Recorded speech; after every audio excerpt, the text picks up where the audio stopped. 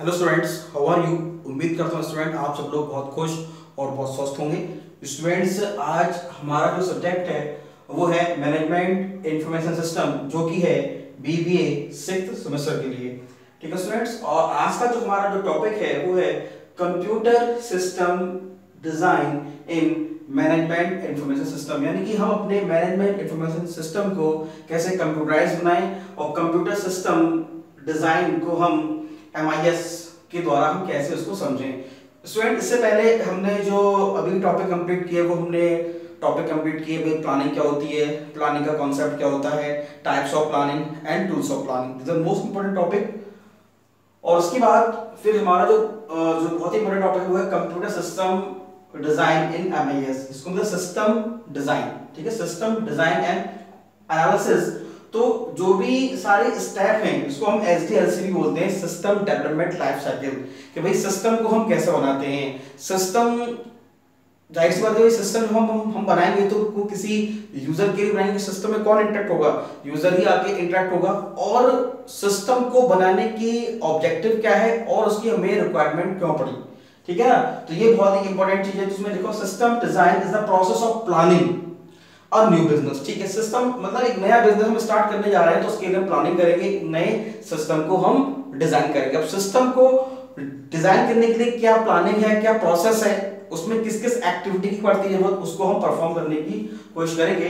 System और want to replace complement an existing system अब जैसे कि जो नया बिज़नेस सिस्टम है तो हम करेंगे पुराना जो हम मान लो हम पुराना भी प्रोसेस यूज़ कर रहे हैं, उसको हम रिप्लेस करेंगे अपने नए सिस्टम को लाने के लिए। लिखा भी है कि before this planning can be done we must thoroughly understand the old system and determine how computers can be used to make it operation more effective yes हमारा जो ओल्ड सिस्टम है ओल्ड सिस्टम को जो है, जो हमारा computer system है, वो उसको और कितना मोर इफ़ेक्टिव बना सकता है। अब जो है, अब टू टाइप्स के हमारे सिस्टम डिज़ाइन के प्रोसेस हैं। एक है हमारा आर्किटेक्चरल डिज़ाइन दूसरा है हमारा लॉजिकल डिज़ाइन या तो हम लॉजिकली हम उसको बनाएँ, या फिर जो है हम उसको आर्किटेक्चर बनाएँ। आर्किटेक्चर का मतलब क्या है कि एक हमें, एक आर्किटेक्चर एक हमें आर्किटेक्चर हमें दिखाई देगा कि भाई उसकी शेप कैसी होगी।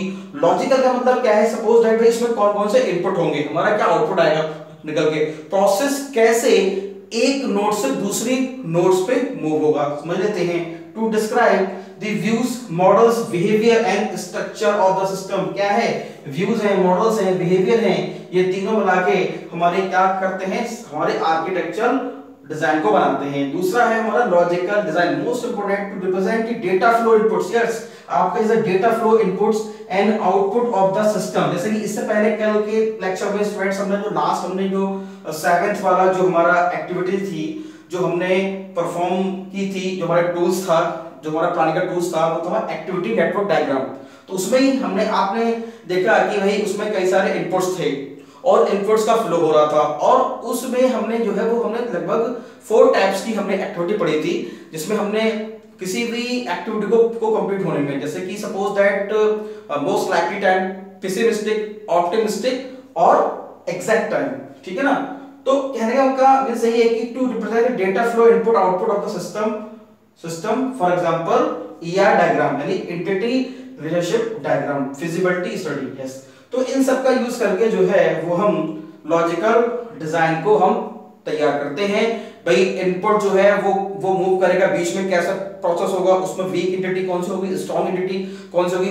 अब अब वीक और स्ट्रॉन्ग मतलब क्या है? मतलब भाई, कौन सी प्रॉब्लम जो है, वो ज़्यादा प्रायोरिटी पे है? जैसे मैंने कहा, हमने प्रायोरिटेशन में मैट्रिक्स पढ़ी थी, हमने टूल्स ऑफ़ प्लानिंग में। वही है। अब देखिए फ़िज़िकल अगर हम, अगर फ़िज़िकल डिज़ाइन की बात करें कंप्यूटर सिस्टम डिज़ाइन में तो वो क्या होगी? देखिए specifying the input output media yes input output media हमारी क्या है?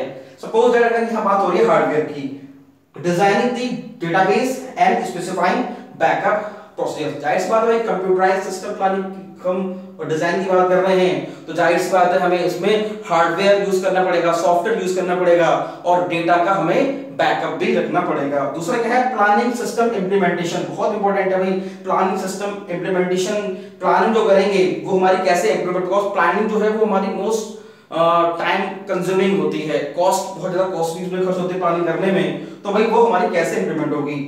Devising a test implementation plan and specifying a new hardware software yes अब भाई डिवाइस को हम टेस्ट करेंगे कि जो हार्डवेयर है, जो सॉफ्टवेयर है, क्या वो उस एनवायरनमेंट में जो हम टेस्ट करने जा रहे हैं, जो हम सिस्टम बनाने जा रहे हैं, क्या उसके लिए वो हार्डवेयर स्पेसिफाई है, क्या स्पेसिफिक है? क्या मतलब वो ऑप्टिमल सॉल्यूशन के लिए है? To determine specific needs of system yes अब देखो, इसमें कुछ चीज़ें हैं।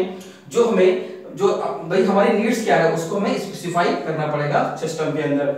Discuss approaches and task of system yes क्या अप्रोचेस हैं? सिस्टम के क्या टास्क हैं? Evaluate tools and technique tools और टेक्निक को हमें मतलब आइडेंटिफाई करना पड़ेगा। टूल्स का मतलब से कल हम टूल्स और प्लानिंग के पढ़े थे भाई, जो है, भाई प्रोजेक्ट को प्रोजेक्ट की एक्टिविटी को इवैल्यूएशन करने के लिए हम किसका यूज़ हम किसका यूज़ करेंगे? हमारा पार्ट है। पार्ट मतलब प्रोजेक्ट इवैल्यूएशन रिव्यू टेक्निक ठीक है? ऐसे ही हमारा जो है, कई सारे हम चार्ट का भी हम यूज़ करते हैं। अपनी एक्टिविटी को परफॉर्म करते हुए का है। Available tools and technique planning analysis design implementation system operation and support yes these are the step in which we have to make computer system for designing MMS planning होगी analysis करेंगे। Design करेंगे implement करेंगे फिर post implementation करेंगे, और बाद में फिर जो है हमें आके हम अपने सिस्टम को एग्जिस्ट कर पाएँगे। इसमें हम देख लेते हैं, देखिए ये हमारे तीन ये हमारे तीन एलिमेंट्स हैं। पहला है हमारा यूज़र इंटरफेस डिज़ाइन आर्किटेक्चर बनाएँगे उसका। डेटा डिज़ाइन ज़ाहिर सी बात है कि भाई, जैसे कि सपोज़ दैट एसडीएलसी में पहला जो स्टेप है वो है हमारा primary requirement of the user भाई यूज़र की रिक्वायरमेंट क्या है? उसी के अनुसार ही हम उसको एनालाइज करके हम उसको कोडिंग करते हैं, हम उस सिस्टम को इंप्लीमेंट करते हैं, बनाते हैं। फिर है हमारा प्रोसेस डिज़ाइन किस प्रोसेस का हम यूज़ करेंगे? तो ये तुम्हारा पूरा सिस्टम और डिज़ाइन में तीन चीज़ें तीन एलिमेंट्स आते हैं। यूज़र इंटरफेस डेटा डिज़ाइन और प्रोसेस डिज़ाइन ठीक है स्टूडेंट्स तो स्टूडेंट्स आज ये जो बहुत ही इंपॉर्टेंट टॉपिक हमने आज समझा भी कंप्यूटर सिस्टम जो है, वो हम कैसे डिज़ाइन करेंगे। एमआईएस में किन किन चीज़ों का हम ध्यान रखेंगे और किस किस एक्टिविटी का हम जो है इसमें परफॉर्म करेंगे। देखो उसमें इसमें जो मोस्ट इंपॉर्टेंट चीज़ समझने वाली जो चीज़ है कि भाई सिस्टम हम इंप्लीमेंट करेंगे तो भाई उसका ऑब्जेक्टिव क्या होगा, उसका पर्पस क्या है? और भाई सिस्टम जो हम बना रहे हैं, कल फ्यूचर में उसकी नीड क्या होगी? फ्यूचर में हम अपने सिस्टम को जो है कहा देख रहे हैं? आगे में कहा देख पाएँगे? और प्रेजेंट में ये सिस्टम जो है वो कितना हेल्दी है? ठीक है स्टूडेंट्स तो आज हमने बहुत ही इंपॉर्टेंट टॉपिक कंप्लीट किया। आप उसमें जब भी कभी जो है वीडियो को आप देखें यूट्यूब पर तो पहले अपने मोबाइल की ब्राइटनेस को बढ़ाएँ। ब्राइटनेस इतना बढ़ाएँ जिससे आपकी आँखों पर जो है उसका ब्राइटनेस का प्रभाव ना पड़े।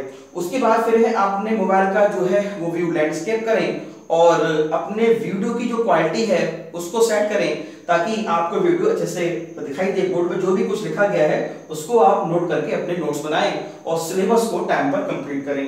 ठीक है स्टूडेंट्स जो भी मैंने लिखा है, इसको आप नोट कीजिए और अपना सिलेबस कंप्लीट कीजिए। Thank you very much